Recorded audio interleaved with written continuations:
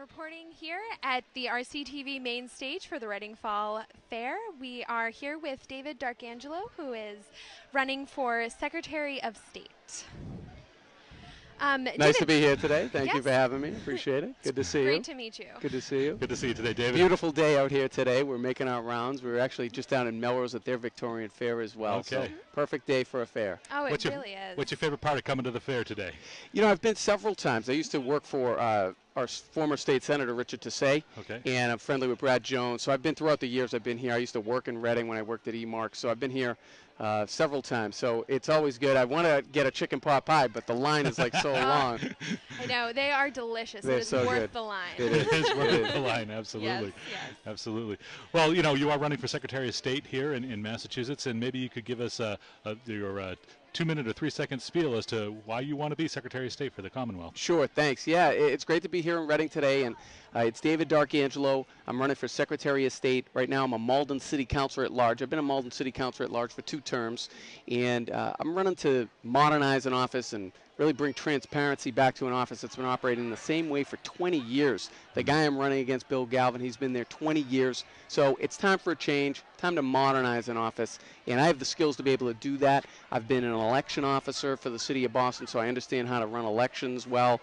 I've worked in the state house. I worked for our former state senator, Richard Tisei, as well as serving three governors before that, mm-hmm. so I understand government very well. But yet, I'm not a creature of Beacon Hill. I've worked in the private sector. I understand what it takes to to make businesses thrive here in the state.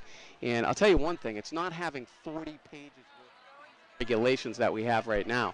Right now, Massachusetts, we rank 46th in all states in terms of competitiveness when it comes to operating businesses with fees and regulations. Right now, we have 40 pages of fees that just keep increasing year after year, and that's something that the Secretary of State sets. So, as your next Secretary of State, I'll look to streamline those. And the biggest thing, really, though, that I'm running on is transparency. Mm. Uh, Massachusetts was given the grade of F when it comes to transparency in government. And don't just believe me, go to my website, davin2014.com. You can see that the National Freedom of Information Coalition gave us the grade of F.